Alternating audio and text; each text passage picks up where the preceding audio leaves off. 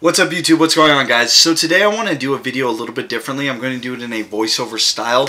Normally speaking, I like to do my videos free flowing and just kind of give off the information from the top of my head because I do feel I understand it to a high enough degree where I can do that and get across everything I want to say. However, sometimes there's are, there are going to be videos where I really would like to transition to more of a um, voiceover style where I can really plan out ahead of time what I want to say and kind of read from a prompt that I write everything out and really get across some more complex ideas. And so that's what we're going to do today. I won't do this too often because it's really become the flavor of the month on YouTube, and so many YouTubers are doing it in such a cinematic way.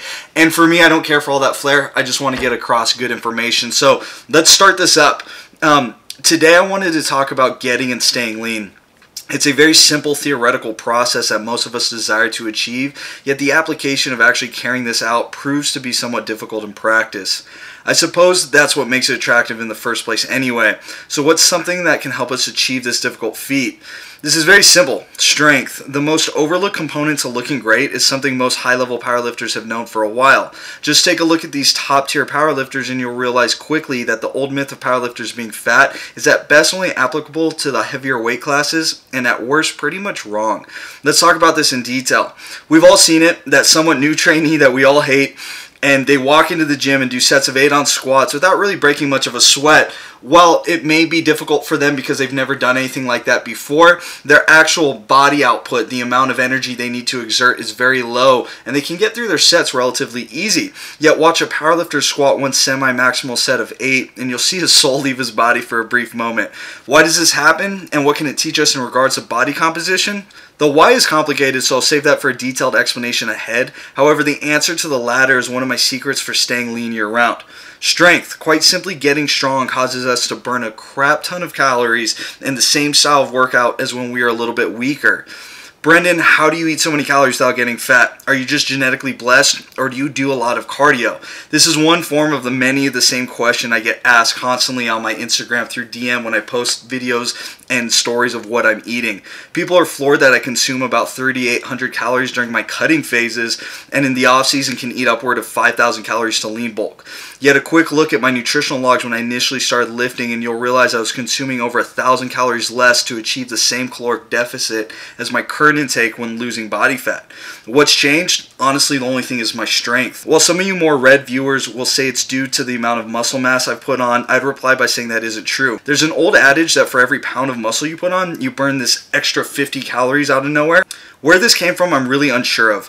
But this study by Zimian Wang, Zhiliang Ying, and Manfred J. Muller, and I hope I pronounced this correctly, showed that at best an extra pound of muscle utilizes a whole 6 calories. While I'd love to believe I've added over 166 pounds of muscle to my frame to achieve this extra 1,000 calories I burned in a day, I know that isn't true. In actuality, it's my strength. Here's why. We know that the stronger you are, the more neurologically adapted to the movements you're training you are. This in turn causes a higher recruitment of high threshold motor units. It's just a fancy way of saying all the fast twitch muscle fibers that produce the high force contractions get activated a lot more than someone who isn't as strong or who isn't as neurologically adapted. To put simply, the stronger we get, the more total muscle fibers we utilize and the more total work we're able to achieve. This is why you'll see tiny women who don't look very muscular compared to a bodybuilder, yet they're extremely strong. They utilize more motor units to move more weight, which in turn causes a higher demand of energy. Don't just take my word for it though. Look at this study yourself by Brown SP et al. 1994, where they found that total energy expenditure was directly related to the amount of work being done. The more weight on the bar, the more energy demanding the lift was, even if relative difficulty remained the same. Guys who are deadlifting 300 pounds will burn double what guys deadlifting 150 pounds will. Now add this up with multiple major compound movements and you get a huge increase in energy expenditure from simply just getting stronger on all your basic compound lifts. Now, some more astute viewers will probably still question this in my anecdotal example of myself that I just offered. You could exclaim that maybe I was working out easier back then, or simply just doing less volume, or perhaps that I was more active in my daily life. What I can tell you about my own experiences is back when I was consuming that 2,600 calories to lose fat, I was working as a personal trainer and always on my feet for about 5 to 8 hours a day. I also trained more as a bodybuilder and was doing more total sets and training with more total reps. Currently, I work from home as a coach and do everything on my computer, and I'm also far less recreational recreationally active as I don't hike as often these days. I used to hike about four to five times a week back then. Put simply, I'm burning way less calories now during non-training hours than I was back then,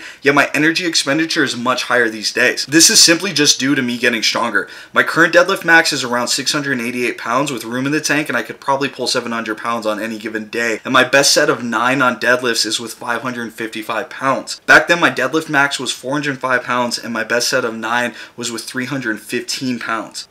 So what are some takeaways here? if you're someone looking to get and or stay lean year round i would encourage strength to be one of your primary goals as it will make this a thousand times easier being able to enjoy a lot more food if you're someone with specific goals in other areas such as bodybuilding or sports i would at least encourage you to have some serious dedicated strength phases. This will only help you in many ways while making your job of maintaining or obtaining a lower body fat percentage a lot easier. Hope this video all taught you some really good lessons and if you have any questions leave them down in the comment section below. Thumbs up the video I'm sure this was super cringy to hear me read off from like something I wrote out, but I hope the points here were explicitly explained to you and you guys can understand this stuff. So give it a thumbs up, give me some love, guys, and I'll talk to you next time.